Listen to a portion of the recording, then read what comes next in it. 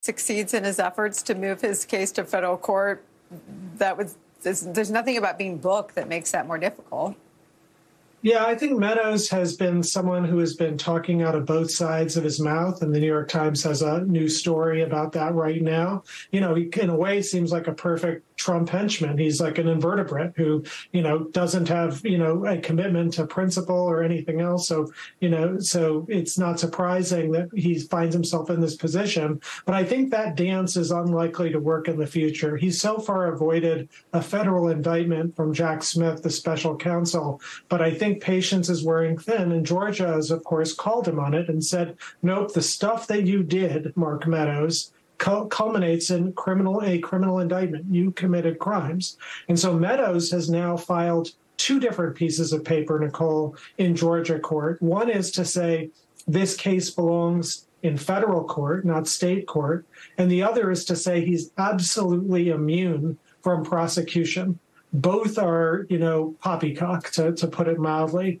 So the removal to, to for him to move from uh, state prosecution to a federal courthouse requires him to say that he's performing a federal function. And it's true that the president and the chief of staff to the president have broad powers under our Constitution. But the one place our founders said the line stops, the place where the president is cut out, is the Electoral College for the most important of reasons. That's the place in which a sitting president has the most self interest. He can self deal. And so our founders, you know, cut them out of that. So Meadows and Trump were not performing a federal function. They certainly weren't trying to safeguard the integrity of the election process, like the cockamamie things they say. Of course not. They were just trying to, they were in it for themselves, trying to launch a coup. And then on this other idea, that Meadows is absolutely immune, as when Trump has been tweeting this as well. Um, I can't think of anything more ridiculous. Um, you know, first of all, Haldeman, like back in Nixon administration, Nixon's chief of staff went to prison for Watergate. He didn't get some absolute immunity or anything like that.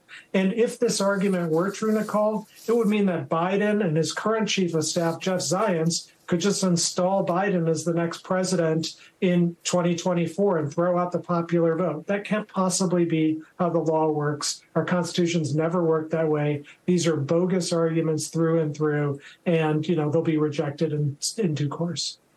It is amazing, though, that they find lawyers to make those arguments um, for them. Um, Luke Broadwater, Neal mentioned.